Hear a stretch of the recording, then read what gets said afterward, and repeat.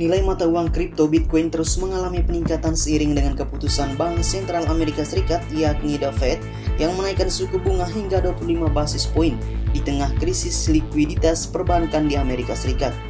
Dilansir dari coinmarketcap.com, pada perdagangan Senin 27 Maret pada pukul 8.00 waktu Indonesia Barat, Bitcoin bergerak naik di kisaran level 28.000 dolar Amerika Serikat atau menguat 1,41% dalam 24 jam terakhir.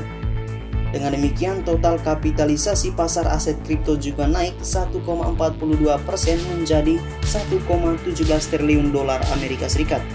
Sebelumnya Bitcoin sempat turun ke level support terdekat di kisaran 26.600 dolar Amerika Serikat pada Kamis 24 Maret lalu.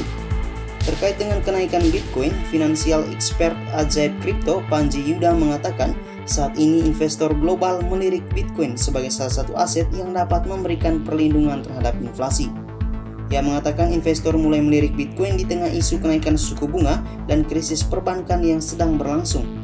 Menurut Panji, harga Bitcoin berpotensi sideways di kisaran level 26.600 dolar Amerika Serikat hingga 28.850 dolar dalam jangka pendek sebelum kembali menguji ke level 29.000 dolar Amerika Serikat.